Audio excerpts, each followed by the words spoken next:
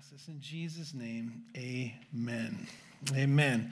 Well, if you could turn to Haggai. And uh, I was trying so hard. I wanted to finish. See, now I'm going to tell a little story so you have time to find Haggai in your Bibles. Uh, I was so hoping and wishing that I could finish the Old Testament uh, before we kind of take our summer break, and it's not going to happen. I'm going to have one book left over, and uh, just in how it was working out, I'm like, maybe I'll just summarize Zechariah. But man, I've already started delving into Zechariah, and I'm like, I can't. I can't short sight uh, Zechariah. There's too much great stuff in there. So, we are going to spend uh, the rest of our time here before our break, which is going to begin June 15th. And so, we'll be here on Wednesday nights in our, in our verse by verse study uh, and our you know prayer and study time here on Wednesday nights until June 8th is our last one, and then we're going to start our family night barbecues. And so, looking forward to that. Um, I think we're going to have tacos cholitos out for that first one. And hey, there's nothing wrong with using the table of contents. Okay, that is okay to do. You have my permission. For those of you who are still rustling around, it's totally fine. Uh, but I think we get Tacos Cholitos to come out again, so it's going to be great. Looking forward to those times together. And again, it's the, the, the larger that this organism gets, the more important it is to have these times where we're spending time together as a family. And that's what's going to make this uh, the, that's what makes this time so valuable as we get to know each other that way. But that's what's going to make these summer barbecues again so important for us to get to know family hang out with one another just being together. So hope you guys can can make it out there. As I said, Haggai, I hopefully I've given you enough time to find your way. It's just really a few pages left of Matthew Haggai's name means the feast. And, uh, and so many folks believe that perhaps he was born on one of the major feasts. No one is exactly sure, but that when we read about the feasts in the Old Testament, his name comes from that same root word. Okay? And then, as you may have noticed in your ability to find the book, it's a little shorter, it's small. For some of you, perhaps it's just, you know, on pages that are together. It's so small, just two chapters. And, you know, anytime we're starting a study, making general observations is really helpful in, in wrapping our mind around a book. And that's a little easier to do when the book is small like Haggai. And so, one thing that when you can notice pretty quickly about this little two chapter book is the amount of dates that are used. Haggai um, provides dates six times. He tells us, here's the date here's what happened, you know, when this happens. Six time he do, times he does that in these 38 verses. And so if you take notes and that fascinates you, you're going to have an opportunity to write those down uh, because uh, I'll tell you what they are. In verse 1, right off the bat, he tells us in the second year of King Darius, uh, or Darius, in the sixth month, on the first day of the month. And then uh, I think we have a, did I make a slide for this? No? Okay. I'll repeat them all a couple times. Um, so 1 1, and then in 115, just 23 days later, he says, in the 24th day of the, again, sixth month, still second year of King Darius. And then in chapter 2, verse 1, another month later, he says, in the seventh month, in the 21st day of the month. And then in 210, Two months later, he says, on the 24th day of the ninth month in the second year of Darius or Darius. And then in 218 and 220, he repeats that same date again. So again, that's 1 1, 115, 2 1, 210, 218, and 220. All told, if my math is correct, Haggai's ministry covers less than four months. In fact, 114 days.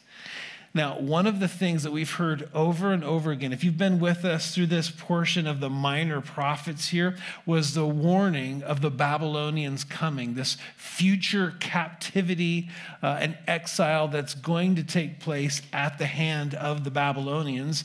And it did take place exactly as the Lord said it would. And so, um, this is going to play into the book of Haggai. We're going to go through a timeline here from uh, where we were in Zephaniah, essentially, to where we are right now by the time we get to Haggai, because some time has transpired during this. Now, Babylon became the world power in 605 BC. They defeated Egypt and Assyria in one of the most famous and important battles in world history, the Battle of Carchemish. And it was at this time that Babylon came and they took this first wave of captives with them from Judah back to Babylon. They took all the young princes and future leaders, this group in 605 BC that was deported back to Babylon included Daniel, Shadrach, Meshach, Abednego.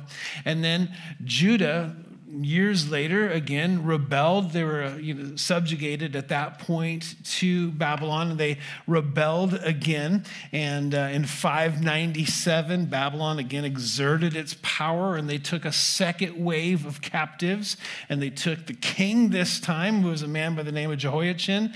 They took Ezekiel and again, many other young, influential leadership, entrepreneur type people with them back to Babylon just trying to just take the will out of this feisty group of Jews who didn't want to be subjugated to the Babylons.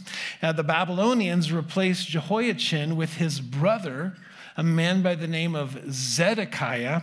And Zedekiah was the very last king of Judah, but he also rebelled against the Babylonians. And this resulted in the third and the most devastating invasion by the Babylonians. And by the time they left, the walls were tumbled, the, the temple was decimated, and the, all, all that was left in the land was the very poorest people. The houses were, were, were crushed, all of that. That took place place in 586 BC when Judah was finally completely defeated by Babylon. So, three waves of exiles 605 BC, counting down 597 BC, 586 BC. And then, as I mentioned last week, these last three books of the Old Testament are called the post exilic or post exile. It's after those exiles. And so, all the other um, prophets, except for Daniel, uh, are before the fall of Jerusalem in 586 BC. Uh, but these last three books of, of Haggai, Zechariah, and Malachi take place after the Jewish people have returned again to Babylon. And so Haggai himself probably returned to Jerusalem in the, in the first set that came back from captivity with, uh, with Zerubbabel, with Zechariah, uh, with, uh, with, with those. Joshua was the high priest. They took about 50,000 others with them. That was in 538 BC. And we do have a timeline for this that we can put up if you want to get these dates down. I didn't share it, did I? Can, you know how fast I can do that, though? It's pretty amazing. So maybe I did share that other thing too, and I didn't realize it. See, that's what I get. I deserve this. Let's see how fast it can go from my phone to uh, up there. Is someone timing me? My job's already done. Now I'm waiting on them. No, I see you guys writing furiously. I'm like, well, it's going to be, oh, it's not up there. That's my bad. Okay, so the, this 50,000 or so is all that returns out of the whole nation that is led captive. It's just a small portion that actually does return. People got comfortable in Babylon. And so they came back to this land that was decimated in 538 BC, and they started to rebuild the temple. They recognized that, hey, we're God's people, this is God's land. They start to rebuild the temple.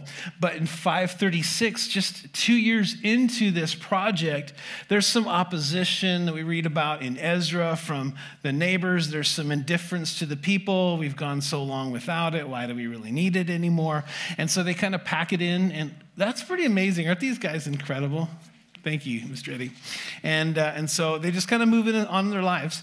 And then 16 years later, in 520 BC, the Lord sends specifically Haggai and Zechariah to the people and commissions them and says, You have got to get back to doing what God has called you to do. You, the people as a whole, as you know, like a monolith, were led to Babylon. Some came back and then they just got comfortable. They're not making the things of God important, and you'd think they would. You'd think they had learned their lesson, but 16 years go by. And so the message of both Haggai and Zechariah, as we will see, is that it's time for you to get back to what God is calling you to do. Now, if we were to go over to Ezra chapter 6, verse 15, we would learn one more date, and that is in 516 BC. The temple, it says in Ezra 6:15, was finished on the third day of the month of Adar, which was in the sixth year of the reign of Darius. All these other dates that we had before were in the second year. So, just four years after the book of Haggai, construction is completed. And that's one of the things that he was, he was a successful minister, prophet of the Lord in that regard. He encouraged the people, and they did what God was asking them to do. So, he's effective. And then uh, I also have an outline now that we just got all those dates up there. Uh, I have an outline, and maybe I can, you can flip between the two to give folks a chance because that was on me. But uh, here's an outline for you to just help again with observations as we go. In chapter 1, verses 1 through 11, it's going to be uh, an, an encouragement to consider your ways to the people. Man, you got to evaluate your life, consider your ways. And then in verses 12 through 15 of chapter 1 is the response of the people. So consider their ways, the response of the people. In chapter 2, verses 1 through 9, is God's promised glory. And then in chapter 2, verse 10 through 19, consider uh, your own holiness. And then uh, and the book finishes with the promise of Messiah. So while you guys are jotting that down, I'm going to begin. Chapter 1, verse 1, book of Haggai. It says, In the second year of King Darius, in the sixth month, in the first day of the month, the word of the Lord came by Haggai, the prophet, to Zerubbabel, the son of Shealtiel, governor of Judah, and to Joshua, the son of Jehozadak, the high priest, saying, I was thinking about this, and I'm, I'm so glad that um, we pick the names that we do. Like Joshua, that's a good, that's a good Bible name, but man, Shealtiel and Jehozadak, man, I'll give you 50 bucks. You name your kid Jehozadak. That's impressive. No, I won't. Don't do it. That kid, it's worse than, you know, boy named Sue. Okay, verse 2. Back on track, I promise. Thus speaks the Lord of hosts, saying, This people says, this is what the people say. The time has not come. The time that the Lord's house should be built. And so the Lord is just repeating their attitude back to them. Out of the abundance of their heart, He knows their heart. Hey, here's, here's what I'm speaking. That you're, you're saying it's not necessarily time to do the Lord's work. And so the people, the problem is identified right off the bat. The people are content to procrastinate. They're not against doing God's work. They're not opposed to doing God's work or having it done. It just wasn't a priority for them. And that we can tell that by that timeline that we had. 16 years has passed. 16 years in which they could have been doing the work and nothing has happened. And so, uh, and, and again, this hasn't always been the case. When they first came into the land, there was some general excitement about, hey, we're back in the land, these 50,000 guys that came back. Let's do what God called us to. It says in Ezra chapter 3 when the builders laid the foundation of the temple, the priests, this is Ezra 3:16. The priests stood in their apparel with trumpets, the Levites, the son of Asaph, with cymbals to praise the Lord, according to the ordinance of David, king of Israel. And they sang responsively, praising and giving thanks to the Lord, for he is good, for his mercy endures forever towards Israel. Then all the people shouted with a great shout when they praised the Lord, because the foundation of the house of the Lord was laid. But that was then, and nothing has happened since. The project has been abandoned for 16 years, and the temple is in ruin. You know, some of you have maybe seen some property, a house that got started, the financing fell through or something, and just it's just it's, a, it's there's nothing there. It's all brambles and weeds, and there's it's, it's gross, right? It's hard to make out even where the property, the foundation was supposed to be. And that's what's happening here. The, the last 16 years, it's not that the, these people didn't have priorities for their life. We all have priorities. That's something that everybody is given is priorities. They had to do lists, they had goals, they had things that they wanted to accomplish for their life, things that they made time for, but they weren't the Lord's things. And the Lord was calling them out on it. And this is one of the questions, one of the things we can certainly learn as we go through the book of Haggai. Has the Lord been speaking to me? Has He been telling me something? Has He been pointing to an area of my life that needs addressing that I've been ignoring? And we say, it's, it's not time right now. Yeah, I'm not saying that's a bad thing. That's just not important enough for me to address in my life. And, and, the encouragement that we're going to have, the application that we're going to make from this old book of Haggai is is there some service? Is there some fellowship? Is there some area of prayer? Is there some area of bitterness? Is there something God is speaking to me that I'm just, I'm saying, not now? I enjoy where I am without that change in my life. Man, don't wait 16 years. Don't have this book of Haggai so closely represent your life. Address it. That's what, that's what Haggai is telling him. He's a reminder to align our priorities to the Lord's priorities. And so they, they're saying, God knows it. He knows their heart. It's not time to be about God's business. And then, verse 3 the word of the Lord came by Haggai the prophet, saying, Is it time for you yourselves to dwell in your paneled houses? And this temple to lie in ruins?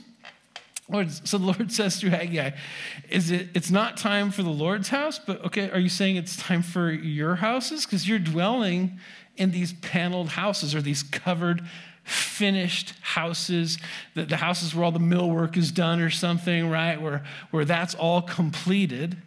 He says, so, so where's your priorities? You're, you're addressing your house, but not mine. And so the Lord just says plainly in verse 5 Thus says the Lord of hosts, consider your ways. I want you to think about this. I want you to examine your life. I want you to consider where you're putting your efforts, your time, your talent, your treasure. Examine your life, examine your priorities, and what are you valuing? Okay? Just think about that. And then I want you to consider where that's gotten you. He says in verse 6 You've sown much and bring in little. It's almost like this is, if you'll consider your ways, this is what you're really going to find. Man, you're working hard, you're sowing much, and you're bringing in little. You eat, but you do not have enough. You drink, but you're not filled with drink. You clothe yourselves, but no one is warm. And he who earns wages, earns wages to put in a bag with holes. Thus says the Lord of hosts. And he says again, consider your ways. Consider the fact that essentially he's saying, by all intents and purposes, they're living in relatively luxurious places. They have nice houses, they have paneled houses, they have food to eat. They have stuff to drink, clothes to wear, they have a paycheck, they are earning. He says, You're well taken care of. You have all that you need. You have shelter and sustenance and clothing and all that, yet you feel broke. Because you're, you're putting your money into this wallet that has a hole in it. You're, all, you're, you're still living paycheck to paycheck. You still have all of this because really you, you, you think uh, like what I, you have what you need, but you never feel like it's enough. There's always something more if I just have this. Now, there's multiple ways in which to apply this verse. I, I uh, just to make some application you know to, to where we are because we're not in the process of building the lord's temple right? But it is about priorities it is about financial things and giving and all of that. And so i remember years ago uh, when i was on staff at the calvary on the other side and someone called the church and said hey we noticed that the youth room needs some new sofas and so we'd like to drop some sofas by and I'm like, oh, that's amazing. That's great. You know, that's going to be fantastic. And so uh, they come by and it's, okay, we've got some new sofas. So here's our old ones. And, uh, you know, this one's got a stain on it. That one's got a hole on it. But if you put covers on them, they look pretty nice. Like, okay, would they look pretty nice in your house? Like, why are you giving this stuff? Not that that can't be a blessing to pass along furniture, but uh, man, like, is it, is it okay to give something nice to the Lord? You know, and so that's some application uh, to be made. There's nothing wrong with giving the Lord something that's nice and new. But on the flip side of this, this verse is often used to manipulate people into giving. And, uh, you know, we're in the middle of a, of a building project, and I'm, I guarantee you this is not going to be plastered all over the wall of a theme verse for our church that everywhere you turn, you're going to see. You live in a house with siding. We've got an empty lot back here. Think about that. You know, we're not going to do that. How dare you fix your toilet when our roof is leaking? You know, and so this verse can be misapplied. But the passage is, it is what it is. This passage is about priorities. It's about getting right with the Lord. Are your priorities in order? Every part of your life. Because this isn't a, a, book about are you attending church or going to, to Bible studies. It's, hey, are you giving? I mean, that's what it's about. Are your priorities represented in all those facets of your life? And it's, it's just about making sure we have that right priority. And that's, that's what Jesus tells us too. Jesus said on the Sermon on the Mount, Seek ye first the kingdom of God and his righteousness, and all of these things shall be added unto you. Focus on the Lord, focus on him, seek the kingdom of God in your life and in your relationships, your job, other parts of your life are going to go better. That's what the Lord says. And so, what's easy for us to do, all of us, is to seek the other things we get caught up in the things of the world, and I'm going to seek the other things, and I'm going to hope that God's righteousness and his kingdom is added onto my life. But what we find, and some of us know this by experience, the more you go after those other things, not that they're inherently evil or wicked or bad, that's not what these people's problem is. This isn't a book about idolatry, it's just priorities. But the more you go after those things, the more we, the more I go after those things, that Jesus gets pushed in the back. But the call throughout the Bible is seek God first before all of these other things. And the other stuff in your life is going to align. Just talking with Chris earlier, you know, it's being in rhythm with the Lord. Our life is in rhythm when we're seeking Him first. And, and we all know what it's like to not have our lives in rhythm, right? We've felt that. It, it, just, it just doesn't feel right. Not that we're not getting on in life, not that we're not doing okay. It's just not in rhythm with the Lord. And so, what Jesus said on the Sermon on the Mount, the book of Haggai, get your life in rhythm. Have it be, and your priorities be where it should be. And so, he, the Lord's pointing out you, you have, but you just it never feels like you don't you have enough. It's because you're not prioritizing. It's not that you're not earning a paycheck. That's not the issue. And so this is their lack of pursuing God and prioritizing is affecting every part of their life. So twice he says, consider your ways and how you have been. And then also, be careful with your ways going forward. Verse 8 go up to the mountains and bring wood and build the temple, that I may take pleasure in it and be glorified, says the Lord.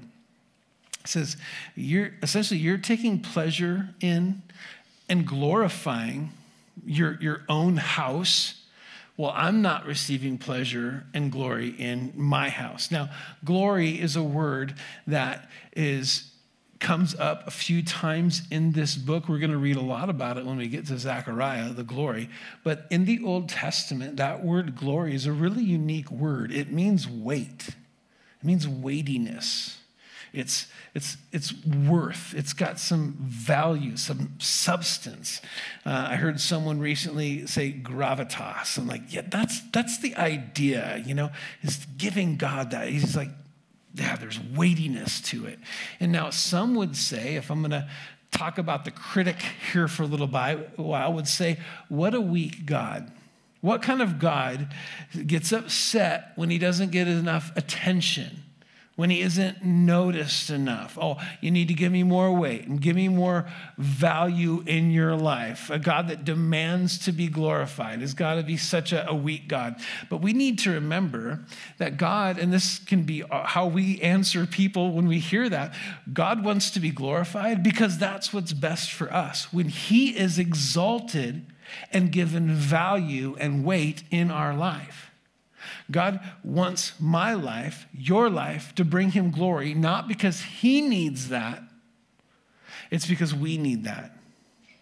I need to be reminded of who God is, the weightiness, the authority, the value that He has, and bringing Him worship and doing that. And that's when my life gets back in this proper rhythm.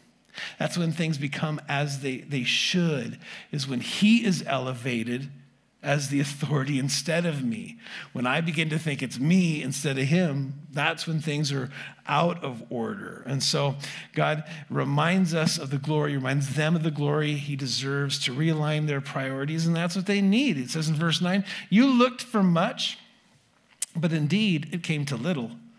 And when you brought it home, I blew it away. All that stuff in verse 5 I'm the one that took care of the food, the shelter, all of that stuff. I, I kind of kept it from you because you're, you're, that would increase this misplacedness that you have on your priorities. It's kind of like if the kids come home and they say, you know, the neighbors were giving away kittens. Look what I have. You know, I have this thing.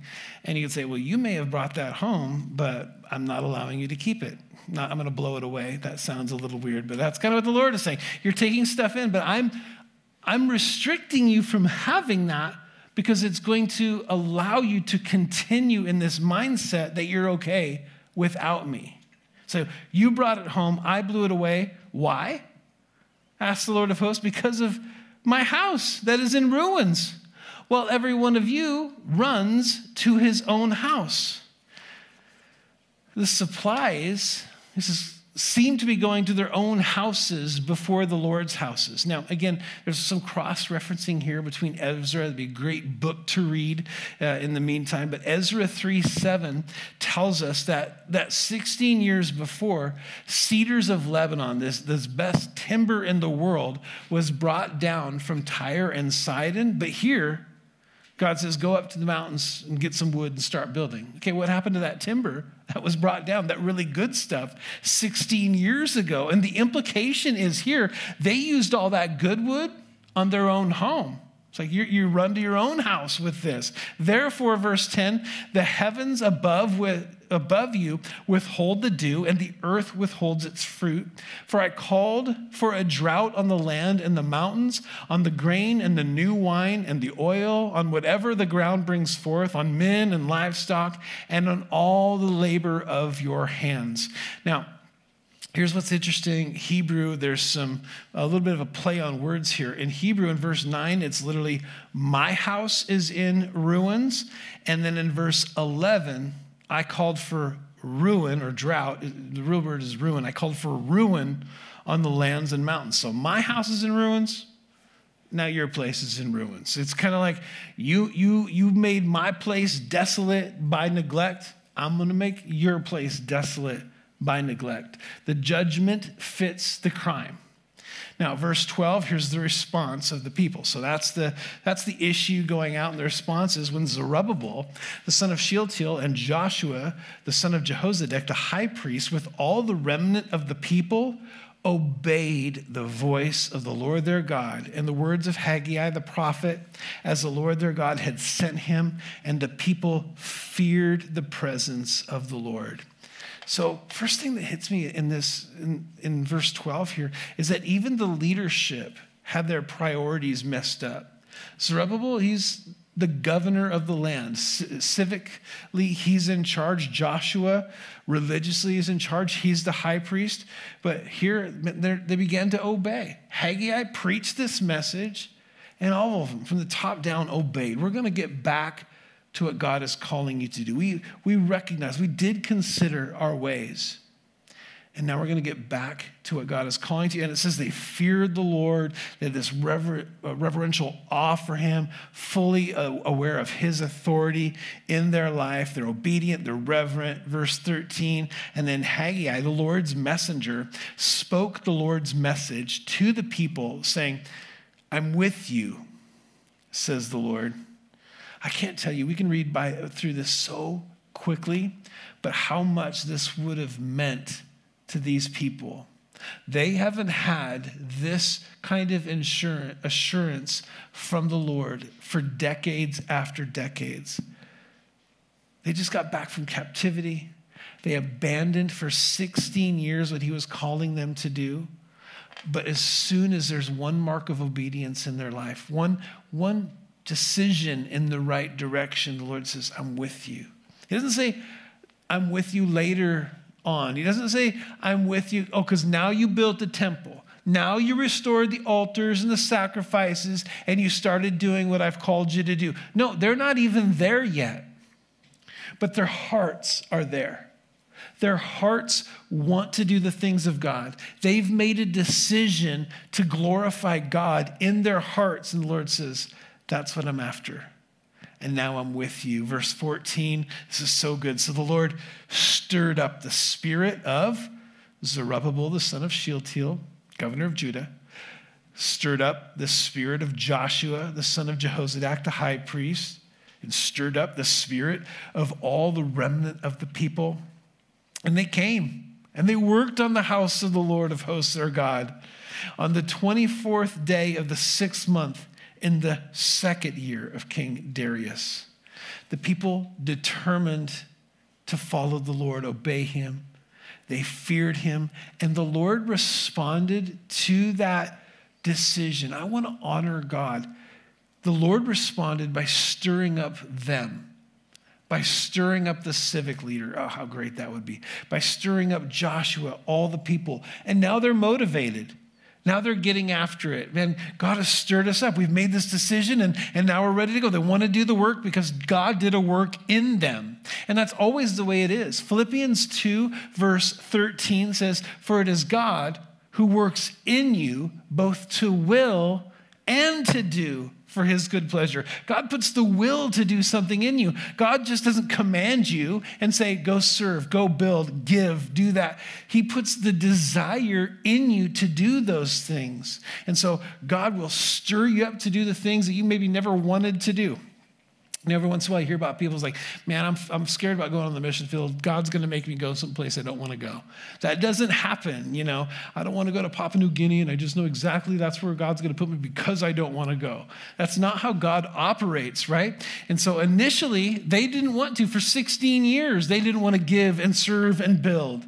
But in hearing God's heart, and considering their ways and reevaluating their life, Oh, now they have the will to, they the desire to obey God, and God stirred them up to do the work. Chapter 2. And in the seventh month, on the 21st of the month, the word of the Lord came by Haggai the prophet, saying, Speak now to Zerubbabel the son of Shealtiel, governor of Judah, and to Joshua the son of Jehozadak the high priest, and to the remnant of the people. Same group, about a month has passed.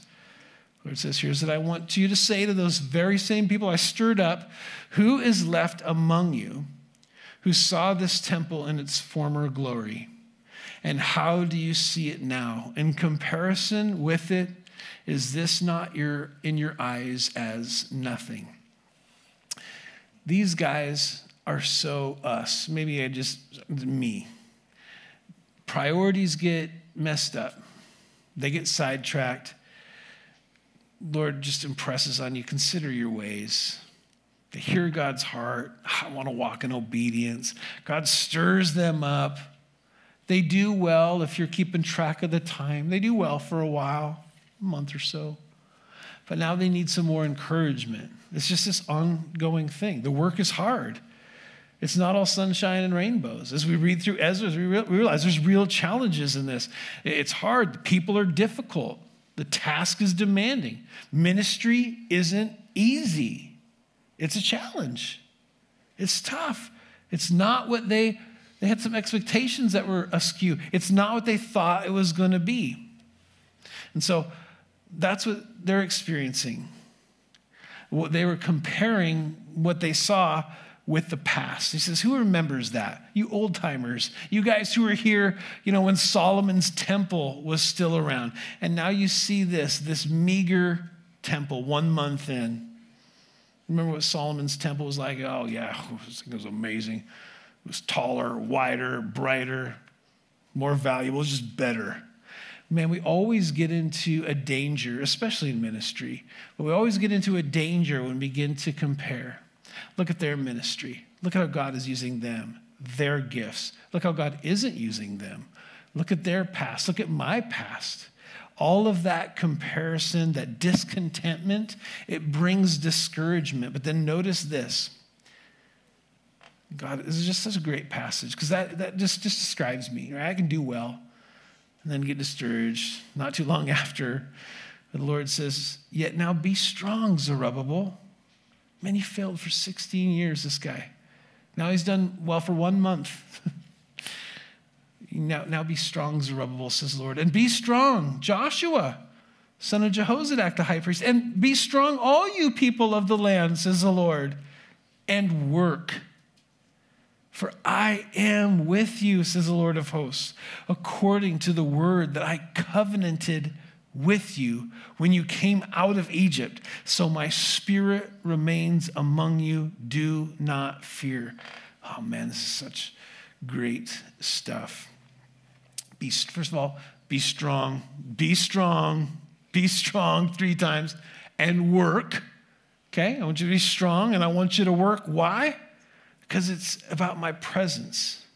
It's not about the building. We've covenanted, we're, we're in this together. I'm with you, and my spirit remains on you. This is the source of all, all ministry. And, and so, if you fear me, if you're with me, if you're in this covenant relationship with me, you don't have to fear. Don't fear anything else. So, be strong. Let's get to work. Don't fear. I was with you and when you came out of Egypt. I'm with you when you came out of Babylon. For thus, verse 6 says the Lord of hosts, once more, it is a little while, I will shake heaven and earth and sea and dry land. Now I believe that Haggai is looking all the way into the tribulation. He says, And I will shake all nations and they shall come to the desire, notice the capital D of all nations, and I will fill this temple with glory, says the Lord of hosts. The Lord says, Don't you worry about the temple's glory.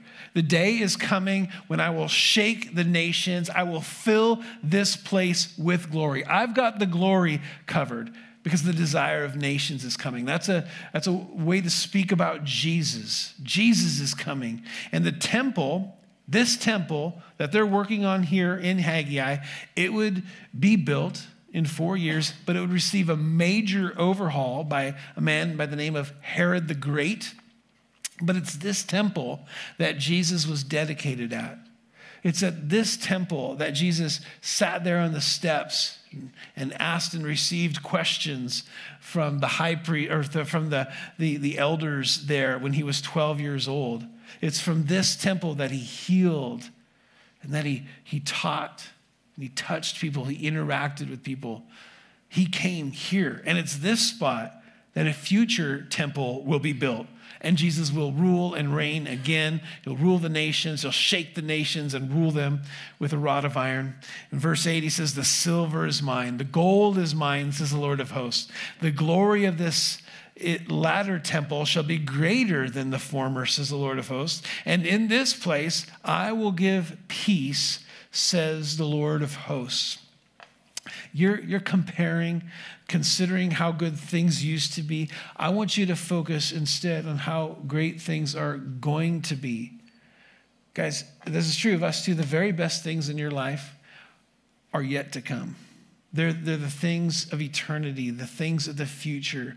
And that's what he's doing. Again, let's set your priorities. Let's be looking there. And so don't be anxious about provision, gold's mine, the silver's mine.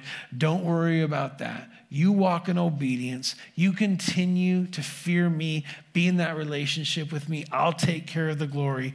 And now the Lord asks them to consider, again, their holiness. He says, on the 24th day of the ninth month in the second year of Darius, the word of the Lord came by Haggai the prophet, saying, Thus says the Lord of hosts. Now ask the priest concerning the law, saying, and I want you guys to listen to, to what's being said here. You got to focus on, on, on this. It's really great, though. He says, Ask the priest, saying, verse 12, if one carries holy meat or the sacrifice that's been given to the Lord in the fold of his garment, he's just got in his lunchbox, we'll say, okay? And, and with the edge, he touches bread or stew, wine, oil, or any food. Will it become holy? And the priest answered and said, No.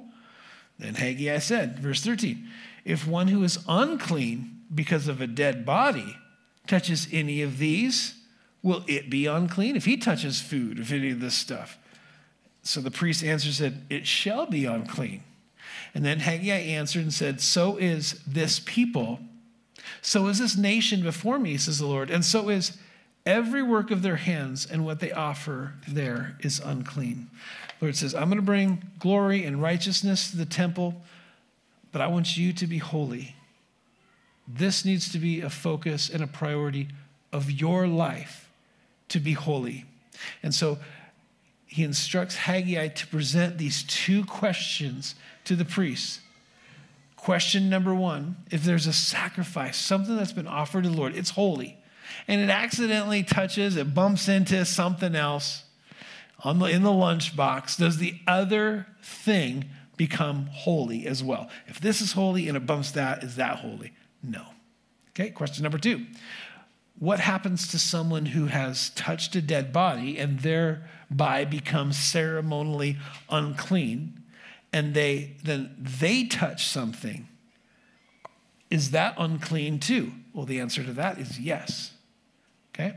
And so, in other words, what he's saying here, you can, you can pass on uncleanliness and pollution and wickedness and, and sin, but you cannot pass on holiness to someone else.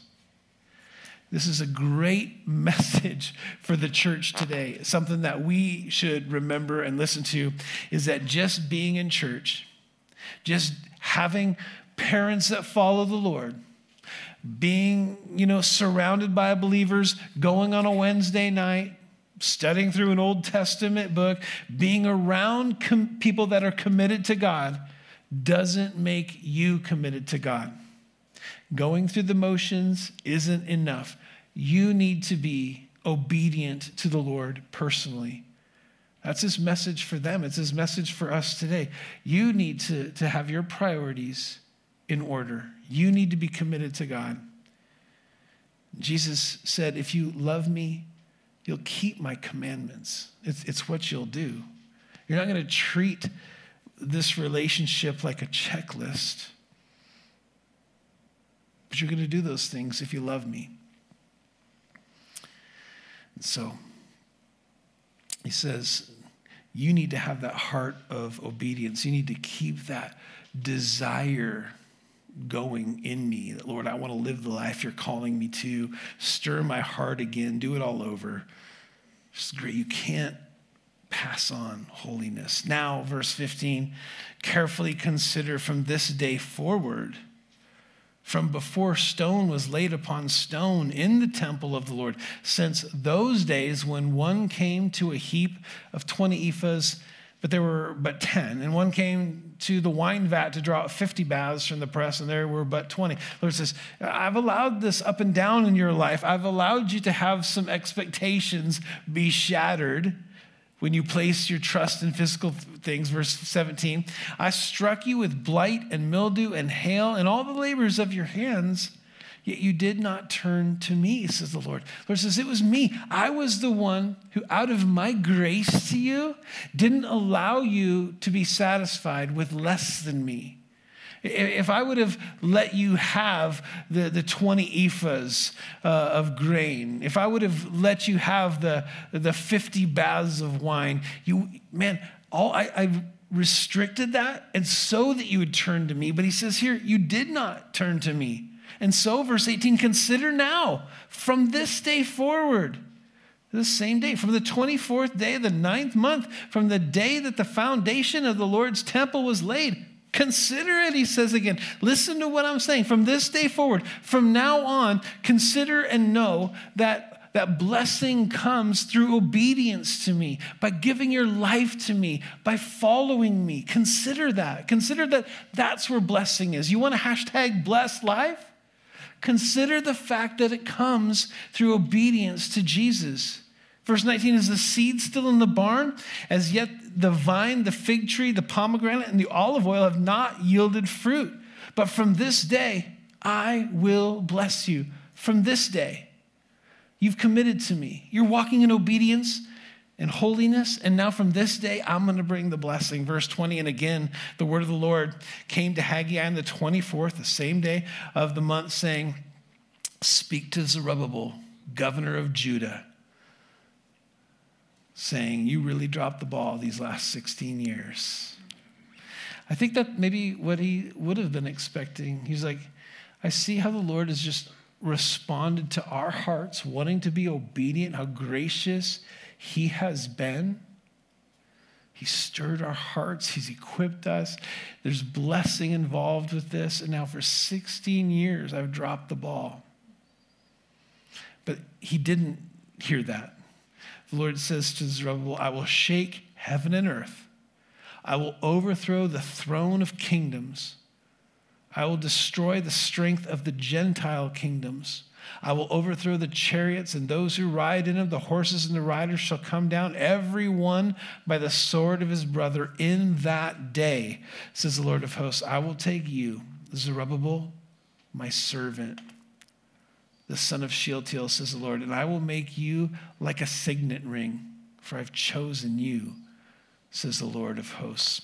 All this, again, speaking of this far future day and, and the day that the, the Lord reigns. And so when he says here, I'm going to make you like a, a signet ring, a signet ring was this symbol of authority. It represented the one in authority. And the Lord says, that's going to be you. You're going to represent, be a picture of the ultimate authority.